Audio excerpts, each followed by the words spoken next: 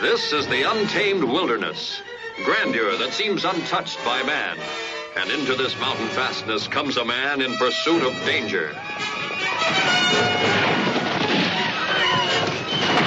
This is the savage, flashing story of this man.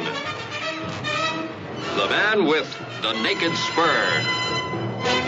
James Stewart, fearless frontiersman, with an iron will that thirsts for revenge, and with a passionate heart that is hungry for love. The love of another man's woman. I wish there was some way to protect you from Howie. He's going to start on you pretty soon. Kemp? Oh, I've seen him with women. He'll look and think, and then he'll reach out and take. And the way things are, who's to stop him? Me? How do you mean? I'm different. I mean, you got a man. At least you stick to her. He's not my man. Well, you're with him, ain't you? Not like you mean. Oh, I'd forget. The raw and savage experience of a wild, primitive beauty at the mercy of desperate men. They gambled their lives for what each man desired most.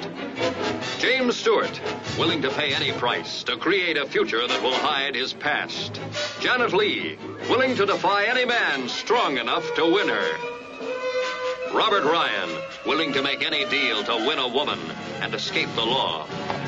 Ralph Meeker, willing to betray friend or foe for love or money.